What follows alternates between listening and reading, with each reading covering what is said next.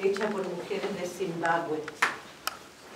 Estas mujeres son todas indocumentadas, no tienen eh, certificados de nacimiento, no existen para, para el gobierno de Zimbabue, pero igual vivieron una experiencia tremenda de la quema de sus comunidades por Mugabe y sus personas.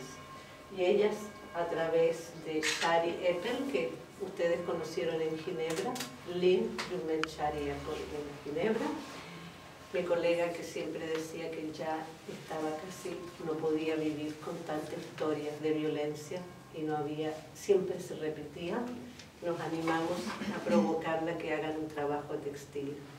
Y se les pidió a las mujeres que trajeran textiles para trabajar o materiales, lo que no fue muy adecuado porque la mayoría no tenía.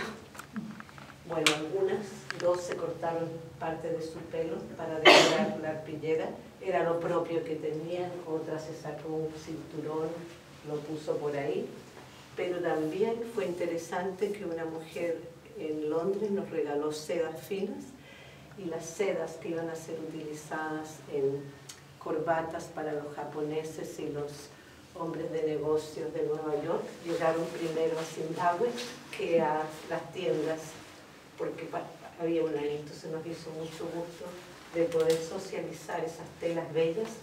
Tenemos algunas fotos de las mujeres tocando la seda y topándose la cara porque no habían en su vida visto materiales naturales finalmente esa tienda nos regaló suficiente material para darle a cada una un metro de seda para que se hicieran ropas. Entonces tenemos unas fotos, unas hicieron turbantes, otras faldas, otras ropas para los niños. Entonces tenemos toda esa versatilidad. Como ven, no hay un estilo, no hay una... Cada uno puede contar su historia desde como pueda y como quiera simplemente lo que hay que poder procesar es la historia en sí misma. Esto tenemos todavía que mejorarlo mañana, nos queda este desafío. Esta es una obra también eh, comisionada en el sentido que le pedí a un artista de Irlanda del Norte que ha hecho una pieza maravillosa sobre el conflicto irlandés si pudiera hacer algo para la exposición que tuve en el Parque de la Memoria en Buenos Aires, donde hubo 140 arpilleras chilenas para conmemorar los 30.000 desaparecidos.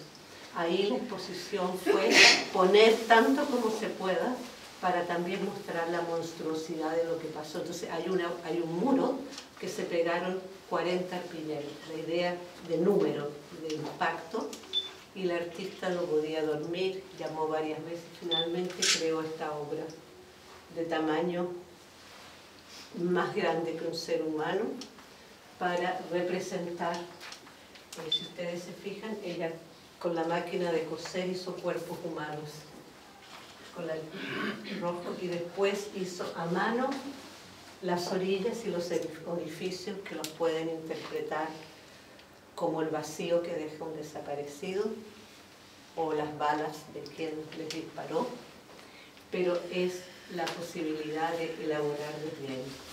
Y abajo hay una hoja con palabras que vienen de las lecturas que hay sobre el tema de los desaparecidos y la vamos a poner un poco separado de modo que se puedan leer con un poco de dificultad a través de las rendijas. Eso es lo que yo llamo ya las arpilleras de cuarta generación, de poder, digamos, ya elaborar, pero también mostrarnos para todo tipo de público que cómo eso perturba a la sociedad en su conjunto. Yo creo que lo dejaría hasta acá, si quieren preguntar más.